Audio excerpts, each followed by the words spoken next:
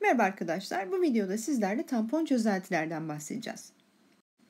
Neler öğreneceksiniz? Tampon çözelti kavramını, tampon çözeltilerin özelliklerini ve nasıl hazırlandıklarını öğreneceksiniz.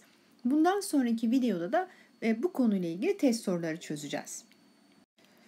Öncelikle tampon çözelti nedir dediğimiz zaman bir tanımını yapacak olursak tampon çözeltiler az miktarda asit ya da baz eklendiğinde ortamın pH değişimine direnç gösteren ya da pH değeri önemli ölçüde değişmeyen çözeltilerdir. Tampon çözeltiler.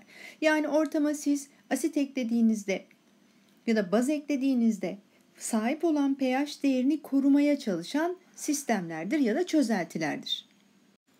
Tampon çözeltilerin kimyasal ve biyolojik birçok olayda çok önemli rolü var. Özellikle canlı organizmalardaki birçok biyolojik süreçte ortamın pH değeri hayati öneme sahip. İşte çeşitli tampon sistemleriyle kanın pH'i yaklaşık 7.4'te, mide öz suyunun pH değeri yaklaşık 1.5 civarında sabit tutuluyor. İşte bunu sağlayan tampon çözeltilerdir. Peki tampon çözeltiler nasıl hazırlanır? Öncelikle asidik ve bazik olmak üzere iki tür tampon çözelti vardır. Önce gelin asidik tampon çözeltinin nasıl hazırlandığına bakalım.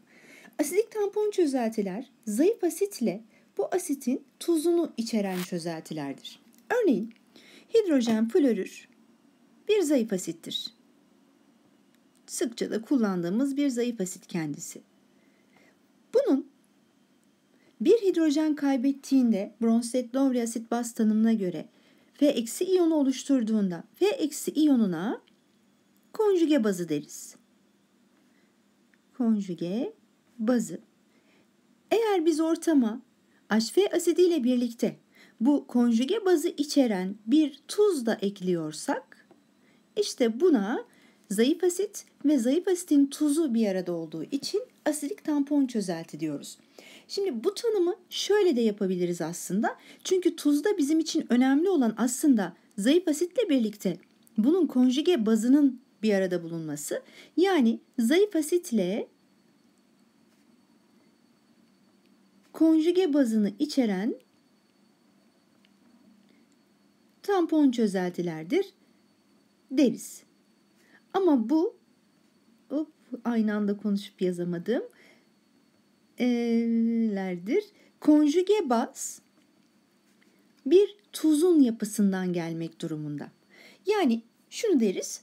HF bir zayıf asit, zayıf asitin tuzu ya da zayıf asit ve zayıf asitin konjüge bazını içeren çözeltiler asidik tampon çözeltilerdir. Ama şunu tekrar söyleyeyim.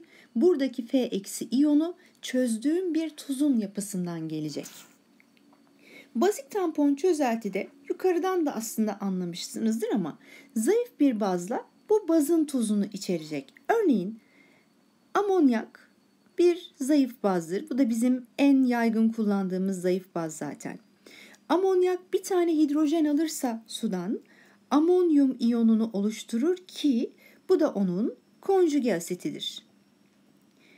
Ve ben eğer bu amonyakla konjüge asitini içeren atıyorum amonyum klorür tuzunu karıştırırsam bu ikisini karıştırdığımda oluşan tampon çözeltiye bazik tampon çözelti diyoruz. Aslında burada olması gereken zayıf bazla birlikte onun konjüge asiti.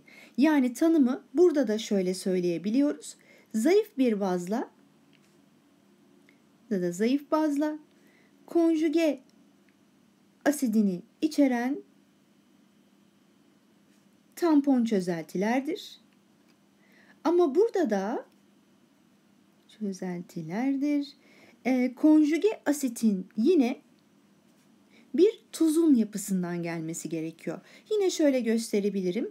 Eğer NH3 ve NH4Cl çözeltileriyle bir karışım hazırlamışsam ya da NH3 ve NH4 artı iyonunu içeren bir çözeltiyi karıştırmış isem elde edeceğim çözelti bazik tampon çözelti olacaktır.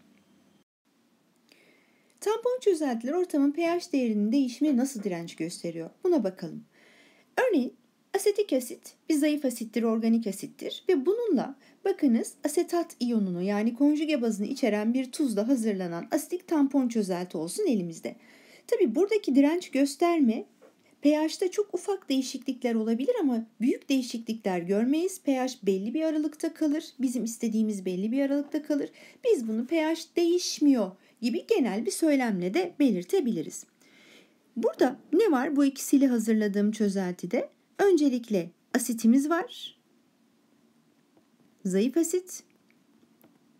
Bir de ortamda bu tuz iyonlaşarak çözüneceği için tuzdan gelen asetat iyonları ki bunun konjüge bazı bulunuyor. Böylece biz bu ikisini bir araya koyarak bir tampon çözelti hazırlamışız. Diyelim ki bu çözeltiye bir miktar baz ekledik. Baz eklenirse.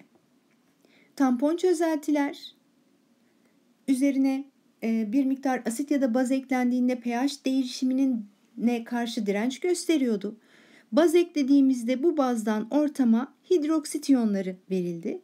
İşte bu noktada zayıf asit işin içine giriyor ve bu zayıf asit gelen hidroksit iyonlarıyla etkileşiyor.